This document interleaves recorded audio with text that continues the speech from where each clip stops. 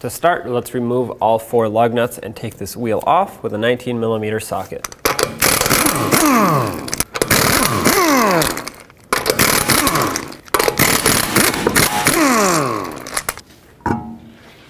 So now with the wheel off, we have a clear view of what's happening here. And what this bolt does is instead of having a solid through bolt here with no pivoting action, this has a little cam lobe on it and it's gonna push the knuckle in and out depending on what adjustment you need, whether you're raising or lowering the vehicle. If you're lowering, uh, you're probably gonna have some negative camber that you either want to take away or manage in some shape or form.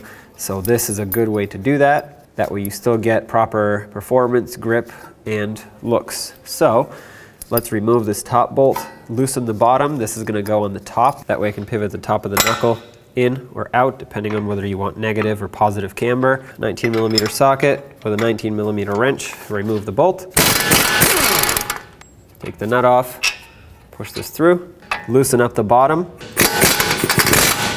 Okay, you don't have to remove that one, just leave it like that. Next you want to take the camber bolt and make sure that this washer has the large hook facing out towards the head of the bolt and then the small hook facing in and you want to line that up with the small hook at the top of this lobe here because this is actually going to go inside of the hole.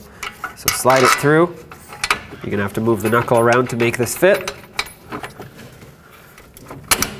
There we go. So keep wiggling till it completely goes in and it's bottomed out. And then take your 15 millimeter wrench. You can spin this. You can see how the knuckle's moving in and out. That's, that's the point of this. If you push the lobe that way, pulls the knuckle in, adds negative camber. If for some reason you need to correct it the other way and you have too much negative camber, you push the knuckle out like this and it creates positive camber. Anyway, whatever alignment you need to do, you can tell your alignment professional and they will take care of it. But now let's install the mounting nut on the other side and clamp it down. 18 millimeter socket on the nut side. I'm going to hold the bolt side. I'm going to position it at the most negative point on the uh, camber. I'll just start there and then the alignment professional can take it from there. This tab indicates the other side of that smaller tab, which is in the strut. And so you want this facing towards you. If you want negative camber, that means the knuckle is pushed back all the way. That's about where I'm at right now. So hold it and snug it up. Now let's torque it to 66 foot-pounds. And this gets torqued to the factory torque spec for these bolts, which is 66 foot-pounds.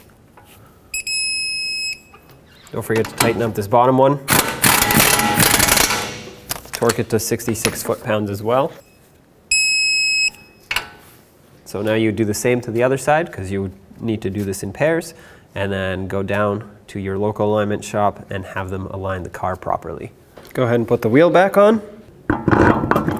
Start on all four of your lug nuts, bottom them out, and then torque them to 80 foot-pounds.